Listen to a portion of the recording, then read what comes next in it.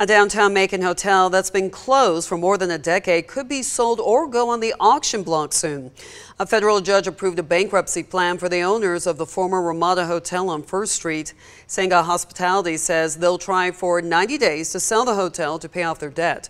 The hospitality firm's lawyer says they've had interest, they haven't hired a broker to market the 300 room tower.